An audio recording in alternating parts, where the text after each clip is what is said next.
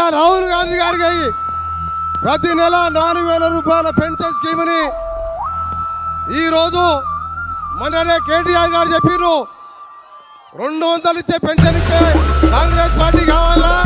రెండు వేలు ఇచ్చే టీఆర్ఎస్ కావాలా? అరే కేటీఆర్ ఇక చూసుకో నాలుగు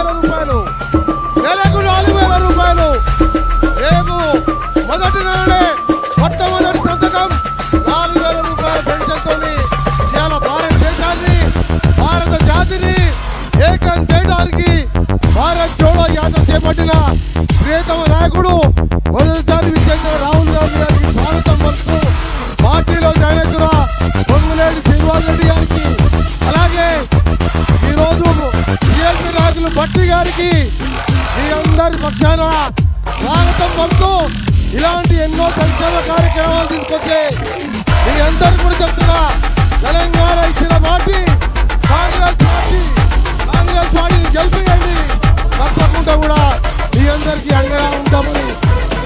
चलिए कूदो अरे तेलंगाना हमारे वीर लोग हमारे वीर लोग हमारे वीर लोग जय कांग्रेस।